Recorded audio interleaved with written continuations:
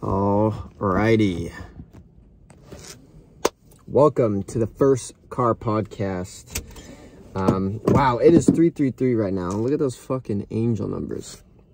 So this is going to be raw, one take, and uh, I don't really have a game plan for what's going to be discussed, but I kind of had like a general gist.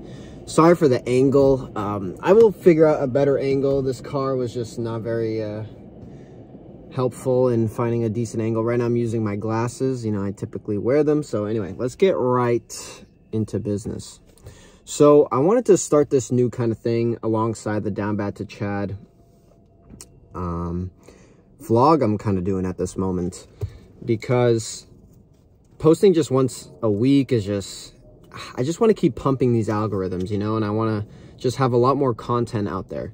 And at the moment, um, I'm finalizing school and that's going to be done in a couple weeks. So, um, I don't even know what I was saying that for. I kind of brain farted right there. But I've been struggling, guys. I have been struggling not only just, you know, recently undergoing some deaths in my family. I basically had two deaths last week, which was both unexpected, not no one even planned for anything to happen like this. And it's just been putting life into perspective even more. Not only about our mortality and that the care we need to have for our family. If anything, it, it, it's been a catalyst for all these things because I feel like so many families, so many people, at least the ones that have been affected, we were distant. We've been growing apart kind of and we've only reconnected when it was kind of like forced holidays or you know what I'm saying? And there's just so much separation, so much going on that I feel, you know, the universe, God, whatever, he just kind of um, unfortunately had to sacrifice a couple lives to be the catalyst that forces the family to understand the value of family and like guys we got to take care of one another we got to really check in with one another and like love each other, you know, because um, a lot of the time there's, there's like, you know, I say I love you, I love you, but is it shown in your behavior? Is it really shown in your actions? It's unlikely. And another thing that the death has really exposed, especially when you go to wakes and funerals, is the fucking crocodile tears. There will be so many people, I mean, eventually we will all share a, you know, a death in our family, friends, whatever. And the moment that happens, there's two kinds of people. There's the good people that were in that person's life, and then two, the bad. And I just fucking snapped my pen. That, that sucks. Um, that fucking blows. I also had some notes here that I will get to. Um, so let me wrap up this point. And you know, I feel like I didn't disrespect my grandmother because I didn't show her crocodile tears. Because we didn't have that intimate connection in the sense of uh, we had a language barrier. She just was 100% Portuguese. I'm 100% English. So there was always that very... I couldn't, I couldn't get to know her as a human being because I couldn't speak to her. And so I felt it would, it would have been a disservice me trying to like... I feel like some people get to into like a crying fit where someone's more sad than the other. Um, again, I'm not trying to talk shit to nobody, but it's just the guilt that people feel for being so cruel to that person that just died and now just all the guilt and shame that comes to them and now they're trying to make up for it with the amount of tears in front of everyone and it's just like we see through your bullshit. We we know your behavior. We know your actions. Like don't even try to play. Um that point didn't really have a point. I guess i was just kind of stating it. So now let me uh switch so now that this death shit is just it's it's just brought a, a, fresh perspective, especially to the insight I've gone into like a lot of families, um, especially the mom's best friend one. I, I've learned a lot, and man, I just really need to get my shit together. Like you know, just in their honor of those who have just passed, especially the mom's best friend who's my second mom. Like, I just want to like now that she's kind of watching me above, I want to do so much more and be truly successful so that she can watch me in that kind of sense. And um, now this is getting into the the issue of uh, self-image something i've been struggling with for the past i mean i guess my entire life but more concretely in the past couple years as i've as i've been wrapping up college and i've been in a very nihilistic apathetic nihilist all the fucking synonyms for that word um it's something I've just been struggling with because I, I'm not sure what my fucking direction is. What what's the what's the end goal? And this is all coming to mind because yesterday I was listening to a Twitter space by Brute de Force. And dude, that guy can talk for like an hour straight with no filler words. The the language he uses, the vocabulary, it's just he's fucking he's a modern day philosopher, just the way he was chatting. And I actually took some notes. Like for example, he was saying to truly live from your source, which is your the inside of you, your your intuition. Also, I need to keep a, a check on the time because this is right before my boxing class. And for so long, I've just been I've been outwardly searching for all of my answers. And I want other mentors and more successful people to always answer the questions for me. But again, the guy was just stating that you you can't have other people ever answer the questions that you know you can answer within and it, and if you don't know your answer you just need to sit on it and meditate because your mind your subconscious mind over time will find the right answer for you. It's just something you need to contemplate. Again where we lack critical thinking because we're so glued to our phones and we're swiping and swiping. And i and i'm a victim to this as well. And this is me projecting. I'm just I, I consume so much data that my own uh, voice, that's my brain, that's my mind, it's it's so fucking weak because all I hear is external stimulation. I'm not thinking for myself. And then this is where he got into self-talk. Mastering your self-talk to yourself is gonna is what's gonna allow you to propel forward because if you have that strong internal fortress that's within your mind, nothing on the external can come in. So that means, you know, your walls are fortified, fucking five inches deep of steel, you know, whatever the strongest material is. But that's going to take years of cultivating this mental fortitude. Um, and the only way you can really do that is to suffer, endure that suffering, and survive on the other end. And now you have this like this story to tell and you, you survived it. And th this is what builds a character. It's it's never because you're always comfortable. It's like life is just truly just full of discomfort and you enduring that discomfort you coming out on the other side and you prevail that's all the hero story shit it's it's never when you're comfortable so um but what hit what hit me the most about this self-image thing from this brute de force space was he said you will never outperform your self-image. I'm going to say that again. You will never outperform your self-image. I'm not here to tell you guys how to change your self-image for the better. Right now, I'm, I'm a fucking... I'm just a student. I'm not rich. I'm nothing special. But I'm in this mindset mode where I'm trying to really build my mind so that I have a solid foundation for the riches to come. Uh, before, when I had my success on TikTok and I went super viral, I had too much success too quickly that it was so overwhelming and I never set a foundation of like discipline and a proper mindset that would sustain this incoming load because I was I was 18, I was it was fresh to me and you know you crumble under all that success. It's like I failed from too much success and then I completely shut down. So that's a that's a story for another day but you will never outperform your self-image. And from the collective past years, I've just looked at myself so negatively. So, I just look down on myself. And whatever space you're in mentally about yourself, that is the maximum you can perform at.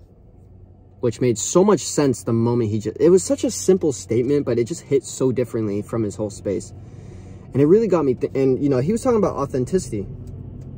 Um, let me see. All right, I'm just going to read from the notes here. So I have live from the source. You will never outperform your self-image. The most successful people self-talk, so they talk to themselves, they do not listen to themselves. And that's a major, major difference. All these thoughts that are coming in and out of your head, you can listen to them or understand you are a conscious observer of each and every thought. And then you can pick and start analyzing this thought. The thought isn't you. It's just a thing floating in the abyss of your brain. And it's up to you to like look at it, analyze it. You can squash it, throw it out, or because you don't understand this conscious observer power that you have, you're fully immersed and now, now it takes over your whole entire brain and you think you are your thoughts and it's just, it's no. So this is why for your self-image to start changing, you need to start changing your self-talk towards yourself. And this is where you penetrate your mind with just very positive affirmations about yourself. Um, I mean, even Brute de Force was starting to clown people who do positive affirmations and stuff. It's just some shit I gotta do, bro. You know, you you got to cherry pick the advice from people because he could be like, oh, that's that's some pussy ass shit. You don't need to meditate. You don't need to do this. You don't need to. Da, da, da, yes, he's correct. But, you know, if you're a down bad individual and you're really just, you have no momentum, you just need these little positive habits to build, like, momentum to build your confidence about yourself that, you know, when you say you're going to do something, you can do it. Even if it's tiny, tiny, tiny, it's better than nothing. Um, all right, so let's keep going down. He said to emotionally dominate yourself. To come, yeah, like he's talking about control, just complete control your brain. And then he said this, which I really liked. You need some bugs in your firmware. All mad men win everything. And so he was talking about how we try so, so hard to hide our imperfections from others that our perfect our imperfections are there in the first place to create our personality and who we are. And some people, their vices, their negative traits can actually be superpowers. But when we just when we talk to ourselves with all this shame and guilt for like, you know, because we're not perfect, perfectly sober, we're perfectly um, moral, we're perfectly uh, you know, not doing nasty shit, you are killing a true piece of yourself in an, in a sense. And this is what he's talking about. Like every, everybody's, cause we're all like robots, we're all programmed. And it's like each of us have our own bugs, like error codes. Everybody has it. And sometimes when you start looking at it as a weakness, that's what confirms it's a weakness. But it's like there's so much about you that can always be flipped. And it's just, you have to play with perspective. And this is where the self-talk, like you forcefully think better things for yourself. And over time, your brain picks up on that and uh, learns because all your thinking, all you, it's so habitual. The past 22 years of my life has just been like reintegrating the same habits, habits, habits. And you have to forcefully break that chain, like cut that shit in half, look at it, and now you talk to yourself and you force yourself to do things differently. I hope I'm making sense. I hope I'm making sense. Um, and he said, you have to ruck up the mountain imperfect. Oh, just everything he was saying in this, this live was just hitting, bro. And, um, yeah, and he was really just saying to ethically win at capitalism. For you to have really an opinion on, on about anything, for no one to talk shit on your back, you just have to win this game of capitalism. Because one, it's the only fucking game in town. And when people can see you do not have an issue with generating wealth, maintaining it, and spreading it, and growing more of it, no one can fuck with you. But if if you're slacking in that, like this is why people go ultra minimalist and they want to become monks, is because they're failing to to win in our society. You know, they start doing all this extra bullshit because they suck at making money. But money is what runs every transaction in the world. Like there's no free lunches at school. Somebody has to get money, put it, and then now there's a value exchange of some kind. All governments need money. All religious institutions need money. Everything needs money to function. Everything, everything. And so for you to really have an opinion on shit, he was just like, bro, win at the game. And then you can go be a monk minimalist and do whatever the fuck you want. Like people are, they're trying to do all these things that are inauthentic to them in place of having to, you know, the only game everyone's playing here is the capitalism game. It's obtaining wealth and then hopefully maintaining it and you take care of your family up until you fucking die, right? Um, yeah, so th this is, you know, for, for the freedom I want in life, it's going to come from financial freedom.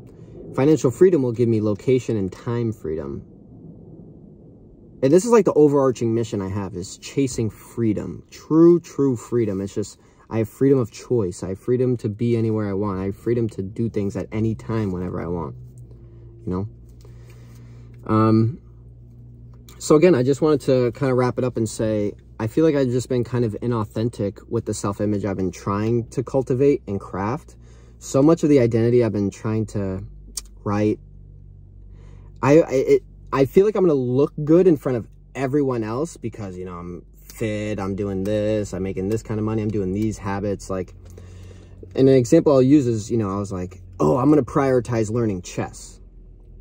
I think chess is cool and all, but is it really something I'm super passionate about? No. I, I think it looks cool that I know how to play it and I can like checkmate you. But it's high key inauthentic about me because I grew up playing like the the best video games ever, you know, growing up, and now I just jumped to like chess, and this is my new video game alternative, like. And like I want to be like an athlete. I want to be running. I want to. I mean, I'm doing boxing, which I enjoy, but now I want to be lifting. I want to do bike. Like I'm stretching myself thin cultivating a new self-image. And the thing that Brute was talking about was like truly being authentic.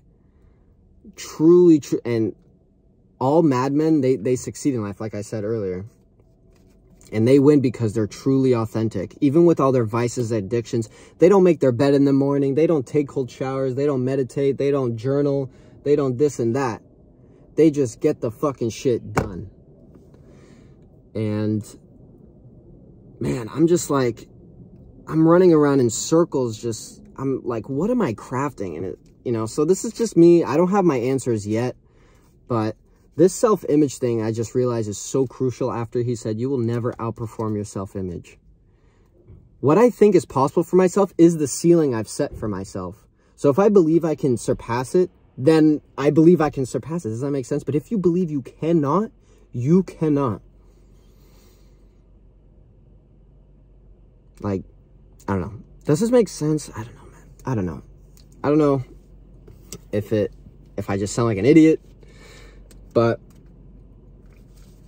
yeah, man. Self-image. It's, it's shit I'm working on, especially with the Maxi Pro course. And I've been like doing the affirmations I have to listen to and da da da. And I'm just like, fuck, I just really got to zero in on an authentic Cisco. Cause I want to be happy with myself, you know, but I wake up every day like angry with myself or upset I'm not doing X, I'm not doing Y, I'm not doing Z. And it's like, damn, Cisco. Again, the self-talk he was talking about. I have to talk at myself and I have to respect that I'm an imperfect person and I can't beat myself up so much for these habits I'll never be perfect with. And so I'm just, I'm trying to realign into a, a solid direction where I work within reality. I'm accepting of it. And I'm not trying to create an unrealistic expectation for myself constantly because I will always fail to reach it. And I'm trying to be this perfect person that I wake up every day at the exact same time. I have this exact time block schedule. And it's like, that isn't me, bro. Like, I'm such a go with the flow. But maybe it can be me, you know, because I'm already saying I'm not this kind of person. But I, at some point, there's like this, this piece with your personality that it's changeable in some aspects that are not. So it's like, it's a delicate dance and a fine line between how am I going to remain authentic while still being able to change in a productive and a positive manner, you know? Um, so, you know, that that's just honestly, this podcast is kind of detailing a struggle I'm having. I'm having a self-image problem and I'm very ambitious. I have big things that I think of for myself. Um, but I keep thinking too large, too big that it's it's an overwhelming mountain. I want to already climb Mount Everest, but I've never even climbed, you know, just like a tiny mountain that's one hundredth the size, you know? But, it, or it's like you want to run a marathon. You can't just run the 26 miles out the gate. It's Like, no, dude, let's start running a mile, a mile, a mile, and then you then you do the first, you do your 5K first. You do like a bunch of 5Ks, which, what is like three to five miles only? Just do a 5K, 5K, 5K, 5K, and then you've warmed up enough that you start increasing that. So, me speaking out loud, telling myself what I need to do. Again, live from the source. So I guess me kind of verbalizing. This is like a little therapy session, no cap. But I, you know, with these videos, man, I'm at least creating and I'm speaking. I'm finally verbalizing what's in my, sitting in my brain because I don't do this shit. I just keep consuming, consuming, consuming. So, all right, guys, my boxing class is going to start in seven minutes. So I need to get the fuck out of here. Thank you so much for watching. We kept a, a decent time, 20 minutes. Um, uh, I'm gonna have like better focused topics. This was just uh, pretty random. I think I'm gonna call this self-image. Not that I really helped anyone with their self-image. It was kind of me just crying about mine, but hopefully there was some good shit in there. I do plan on doing this way more. I just need to have a raw sit-down video post, you know? And then just keep doing them. So, yeah. I'll look this over, see if it was good, and I'll, I'll, I'll see if I publish. All right, ladies and gentlemen, thank you for listening. Thank you for watching. I appreciate y'all. Um, let's see, let's see. Some YouTuber shit. Please subscribe, like, and comment.